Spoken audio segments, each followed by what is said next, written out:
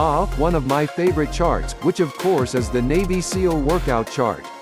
Owing to the very nature of the professional Navy SEAL's life when on duty, all off and on-duty physical training workouts need to be as intense as possible. This intensity may even apply to rest days when the drill sergeant has it in his heart to give commandos under his wing time off for, let's just say, good behavior. They say that routine is good for you. Given the intensity of Navy SEAL training, you would hardly think so. In any event, the Navy SEAL workout routine chart forms a vital component of the drill sergeant's work.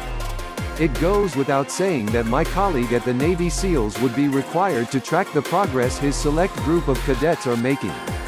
I've been asked to talk about the drawing up of a chart. But I'd also like to talk about routine. As I was saying, they say routine is good for you. I'm not a psychologist, so I won't be expounding on this in any technical sort of way. But I can pass on to you one or two anecdotal notes. For a drill sergeant, routine comes naturally to me. It is in any case a core discipline of the military. There are going to be those days where you just want to yawn, and yawn you will out of sheer fatigue, and wish you were someplace else.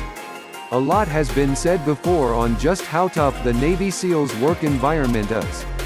The actual training routines that operatives have to step up to when not on combat duty is already a fair reflection of that intensity. But there will be those days when things appear to have come to a standstill. The Navy SEAL soldier could be commanded to stand guard for long hours until well deep into the night. Every occupation has its occupational hazards if you will. And every occupation has its quieter, even somewhat tedious moments. The Navy SEALs have such moments too. Forget about what you see in the movies, there really is nothing glamorous about being a Navy SEAL. But as it is that a job is a job, this is no ornery job or conventional trade or profession.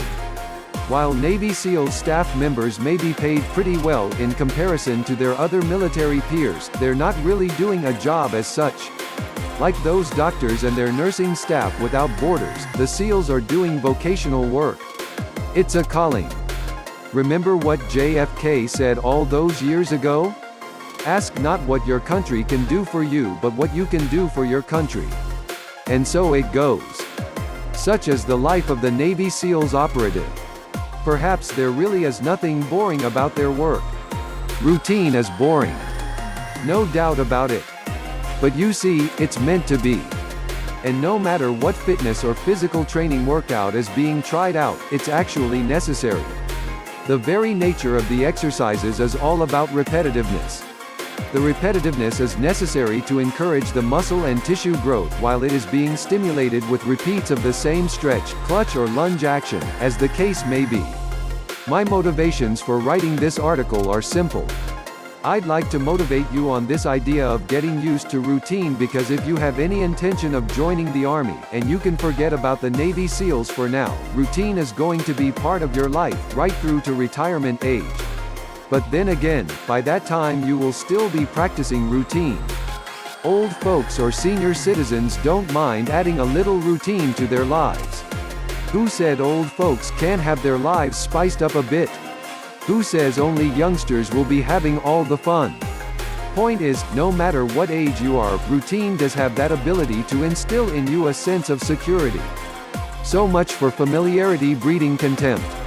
As far as the Navy SEAL routine chart goes, there will, however, be deliberate diversions or disruptions. Why draw up a chart? The drill sergeant does want his troopers to get used to the idea of unexpected outcomes. He needs to test their ability to react quickly and yet, with mental restraint. The chart is necessary. It is a monitoring activity that allows you to keep track of the exercises being followed and to monitor all progress being made. The other thing is, owing to the intense nature of the Navy SEAL workout plan, numerous exercises are being included. Hardcore nature of Navy SEAL training unless they are awkwardly running around the parade ground with a piece of paper in their hands, it could be quite easy to forget which exercise to do next. So why as in must Navy SEAL training be so hardcore? Let's motivate. The statement, blood, sweat, toil and tears was made famous by perhaps the greatest warlord of the previous century, one Winston S. Churchill. He's famous for something else he said. Never ever ever give up. It requires grit, persistence and gut-wrenching effort. Giving up is not part of the U.S. Navy SEALs vocabulary. Let's explore these highlighted, required characteristics for a moment.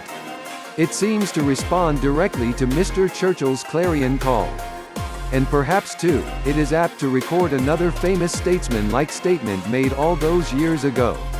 The only thing to fear is fear itself.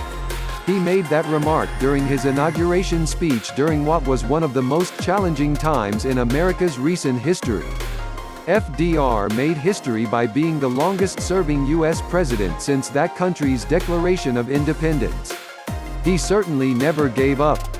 Not only was he a wise old man, he also happened to be suffering from polio during a time when they did not have the medicines and cures we are spoiled with today. Let me share with you then what I make of true grit, perseverance and having to make gut-wrenching efforts. True grit goes way beyond just being brave and having courage.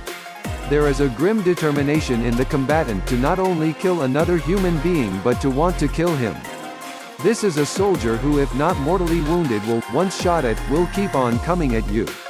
You do not want to be on the Navy SEALs list of number one enemies. Perseverance. Giving up not in Navy SEALs vocabulary. Navy SEAL knows by now that by the time one obstacle has been cleared, another one is just ahead, that is to be expected, not blindly wished away. Let's just say that there were no challenges up ahead, this is a combatant that will go still further looking for them. Ah. I wish I could have cadets like this. The moment you give them the command to jump, they are always bellowing this. Sir. Yes sir. And then they have the cheek to ask this question still. How high sir? Lovely people. Gut-wrenching work. In more ways than one, as it turns out. Bench presses, stomach crunches, sit-ups, pull-ups, fingertip and hand-clapping press-ups, you name it. Glory be. And someone has to keep count. Not so easy to do alone when you're blowing the whistle on a handful of troopers. The Navy SEAL workout routine chart needs to monitor that the exercises are being done to count. You also want to monitor rates of progression. Motivating the drawing up of Navy SEAL training schedule. Once you've gone over the charts that your designated trooper has handed you, you are quickly able to root out the slackers and deal with them accordingly.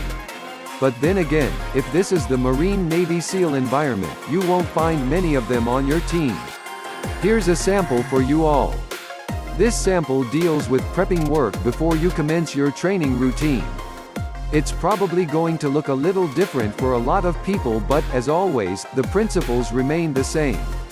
To sample then by creating a strategized checklist that focuses on three core areas or outcomes, two of which should be familiar to you by now and I'm going to be introducing you to in just a second. Strength. A Navy SEAL workout routine chart that does not include strength training for its recruits needs to be scratched completely. Endurance. I could break down this core area into two further subsections just to emphasize its importance and for your convenience. Long distance training. This deals mostly with the running event, something to which I heavily subscribe to. Timed events, a good way to train is not actual focus too much on distance covered or actual weight lifted but to simply measure the amount of time spent going over the exercises. Pushing yourself to the limits, if you want to adopt the mindset of a Marine or Navy SEAL, this is the attitude you will be adopting. Hypertrophy. That's what it's called, chaps. Hypertrophy. It's the process of breaking down, recruiting and fatiguing your muscle fibers so that you're able to increase your cross-sectional areas of muscle growth. And so you don't burn yourself out, this process needs to be charted. So don't you go forgetting what I just said. And that's a wrap. So be sure to like and share this video for more in the future. Be sure to head over to my website at tacticalelitefitness.com for more advice on how to build serious muscle mass with workouts and diet plans.